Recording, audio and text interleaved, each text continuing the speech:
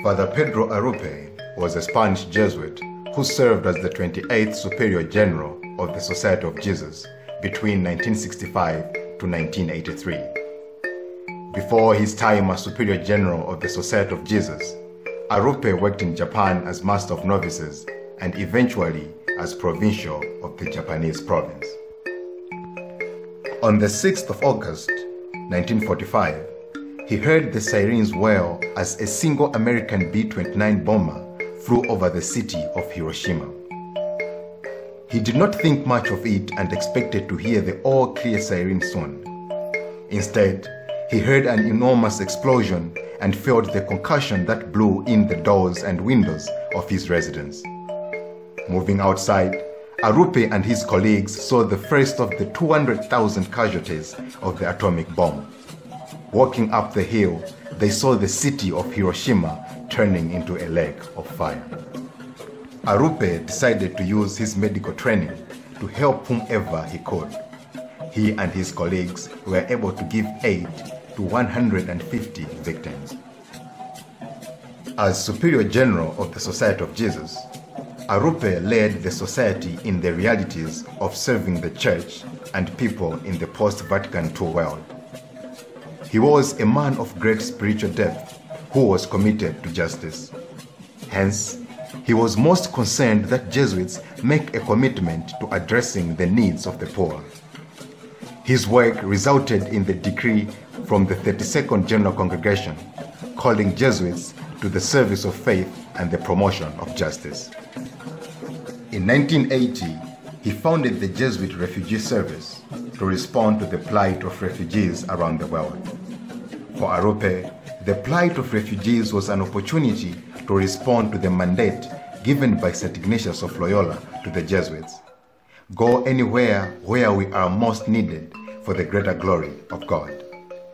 Today, JRS is present in over 50 countries and over the years has served an estimated 40 million refugees globally.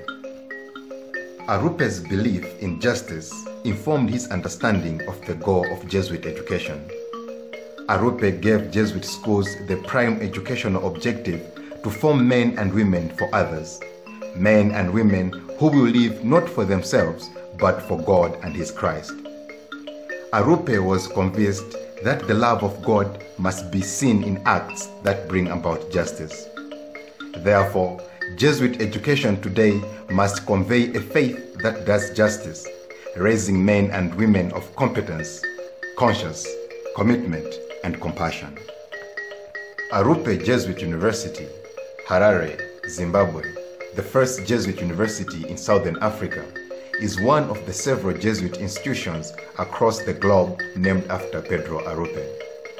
AJU not only follows the mandate of the Society of Jesus to provide quality education to Africa, but also follows the special mandate from Pedro Arrupe to educate people whose faith will bring about justice. The students and staff of AJU are not merely focused on academic rigor, but are also committed to giving preference to the poor around them. AJU collaborates with several other institutions in Zimbabwe to respond to social issues such as human trafficking, child protection, empowerment and education of the destitute, and the promotion of the African culture and heritage. AJU is not only committed to innovation, excellence, and accountability, but also to mutuality, cultural diversity, and transformational morality. This culture of transformation is evident in the legacies left by Pedro Arrupe himself. On the 13th of July 2018, a cause began in the Diocese of Rome for the beatification of Father Pedro Arrupe.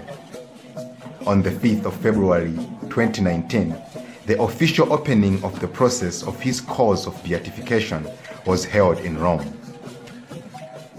As we celebrate Arrupe Day today, we not only join our hearts in celebration of the legacy he left as a Jesuit, but we journey with Jesuits and friends across the world in praying for God's guidance on the church as Pedro Arrupe gradually becomes a saint in the Catholic Church.